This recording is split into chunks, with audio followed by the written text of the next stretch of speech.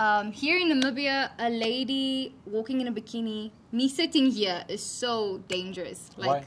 it's just it's what the culture is like in Namibia, and that's what I'm what I'm trying to explain. If a girl walks in a bikini at the beach on a festive season, guys, you know Swakopmund, it's the festive season. You're walking there, it's like the 26th of December, it's family day, everyone's like hanging out on the beach. And she walks by, and all these people see her. Like, it's a small country, so everyone knows everyone. Um, you would be, you'd be like, uh, uh, okay. But being in Brazil, coming with this mindset where I need to cover up my entire body, and I need to not hide. I'm not saying a girl should be wearing a thong on, on the beach, but the ladies in Brazil, they wear thongs on the beach, and no man. I've, I've been I've been paying culture. attention to this for six months. No man would look around and look at her and sexualize her body. So she could walk freely without feeling some type of way. Now, in Namibia, there are two types of women. A woman that would feel like, oh my gosh, they're looking at me. And a woman that, even though she's built perfectly, and then a woman that would be like, oh, I like the attention. And, um, but that's a, that's a thing that men do. And women do it as well. I just don't think it's such So a it's big the different deal. cultures. I think so. I think it's also what we're used to, how we grew up, what our parents taught us. This is not getting too deep. It is cold. Ah. Now wait. Oh, you guys are both gonna be in the interview. Do this coat. Okay, guys, welcome to my YouTube channel. I'm interviewing today. I'll be interviewing. You're gonna take it over. Yes, I'm taking over. I'm gonna let you guys The interview. YouTube expert. I am, I am. Look at me. I'm so comfortable in front of this camera. You know, guys. So today we're at a pool. And we So have got Maxine back back of the camera. She is rocking it, directing this whole thing.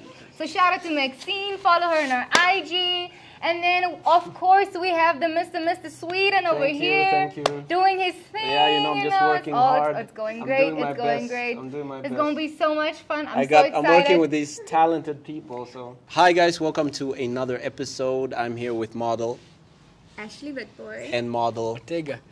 and today we're gonna ask you some interesting questions. Cool. So let's ready. start with the first one. Uh-huh. Would you say that you're a nerd, a geek, or a freak? What do you think? I'm kidding. I think I'm definitely a superhero girl. A you're a superhero. Yeah. Which, which who's your favorite superhero? Um, I don't. I love the Avengers though. Okay. I love Marvel. Yeah. Marvel makes my I'm, heart I'm a happy. DC Oh no, you should leave. You can get out of the pool Marvel. now. Thank you.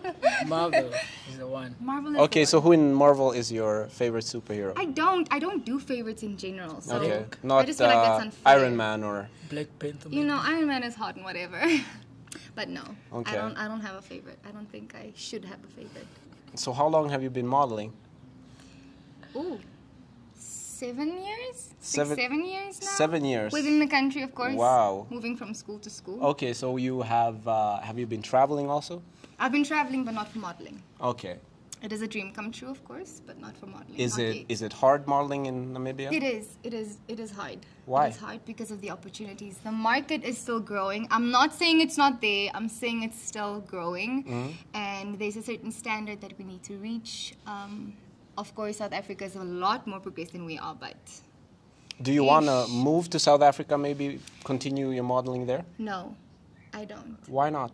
because I I believe South Africa is a comfort zone for a lot of Namibians. Um, I like challenges, and I do believe moving abroad to America, Europe, anywhere else but Africa, I think would be more challenging. Yes. So you want to stay in Africa? No. Wait, what? I don't want to, but I wants to go definitely come back. I think I'd come back. Okay, okay. Yes, I have a lot that I want to start borders. here. So. But where where would you want to go? Where in uh, Europe would you want to, you know, I do don't some like modeling? being cold. Okay. So It's not for Brazil maybe? I've been in Brazil. Hmm? I like it. I wouldn't stay there permanently. I don't think I would. Okay. Um, I think the economy of Brazil needs improving. Let's not go into that conversation Okay. another day. But um, I think, I think I'd be. I'd like to go to America for a few years and then come back. I don't think I'd ever stay there. Seven years is a long time. So when did you start? What year was it? I was grade nine. I was that was 2014. Okay. I started Ace Models just opened in, in Namibia. That's the Yeah. year I started doing modeling. Okay. Blindly. I was a jeans and t-shirts type of girl, guys. And were you doing fashion or was it pageantry? It was it was a little bit of both. I think um, Ace is very diverse in that in that sense. Um, yeah, and then I moved more into pageantry after that. I joined another another um, academy, and then now I'm happy where I am. So what's difficult about modeling? Would you say? Um, I don't think modeling is difficult. Not at all. No. Okay. You've been doing it for such a long time. Um, I've been so doing it for it's such a long time. I think what makes it intimidating, I don't think it's hard, I think it's intimidating, is because you have to constantly work on your confidence. It's Okay. the one thing you constantly need to work on. You Yeah. need to practice and practice and practice. So so how do you work on your confidence? What do you do to You get more confidence? well, it's. I need to challenge myself. Okay. Right? So for me, I struggle. this is gonna sound so stupid, but every time I go somewhere, I have anxiety because of the people that's gonna be there. Uh-huh. But it's a choice going out there, Okay. talking to people, engaging, Mm-hmm. um, asking questions.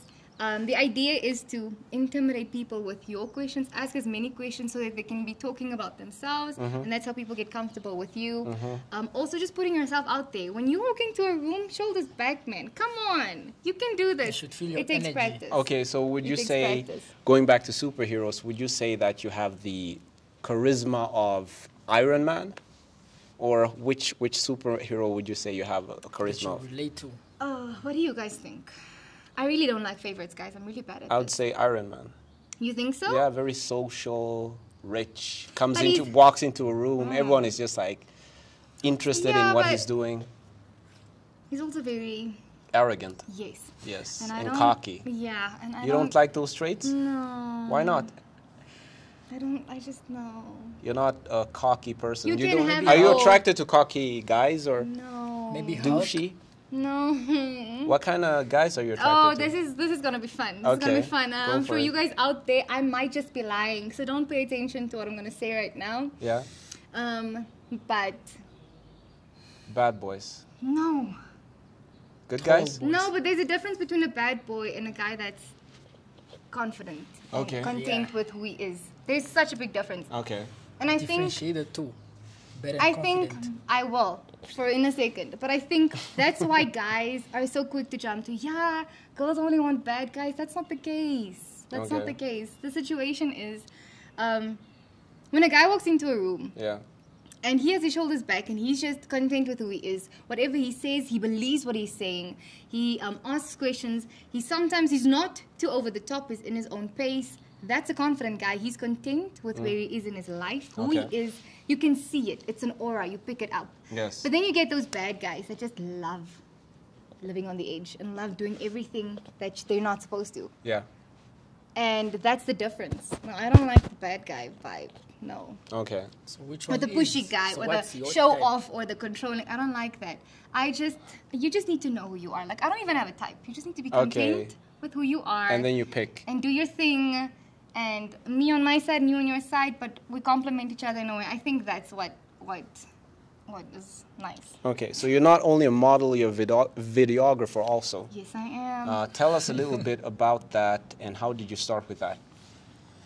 well i was a photographer in high school i had it as a subject Mm. um, for two years and then after that i've always just done photo shoots for less than i should get paid for Mm-hmm. majority of my life Mm. reason being we were just talking about it with maxine is you have this imposter syndrome Okay.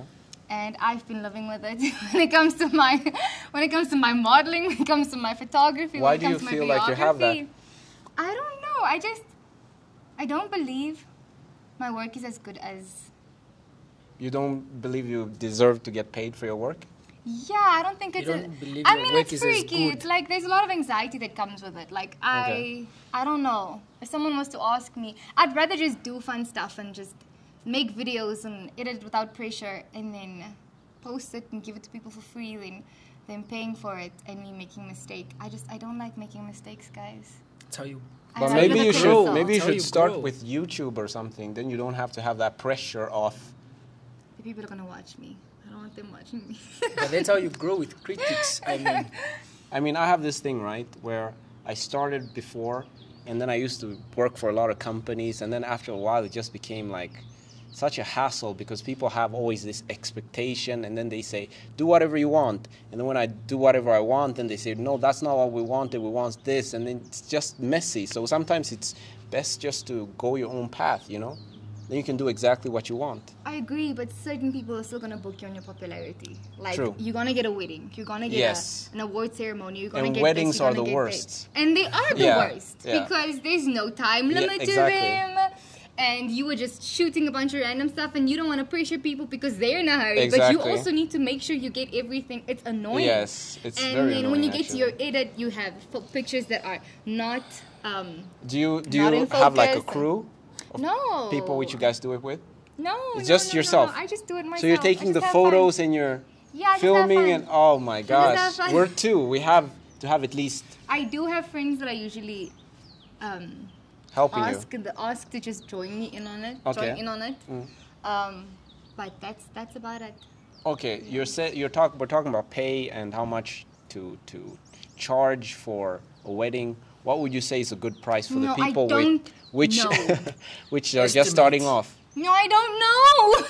Okay. Because I'm there myself. I honestly like, and this is I'm the wrong person to take advice from. Okay. I really am. yeah because I like I said I have this imposter syndrome and even if anyone was to come to me right now just for basic photo shoot I'd be Okay. like uh uh sometimes I even go I need to talk to my dad about it Okay. sometimes I even do that okay and but it's something really basic I know it's something really basic it's simple But why don't you make like a cost list where it's like, okay, this is how much it's gonna cost, this is how much time.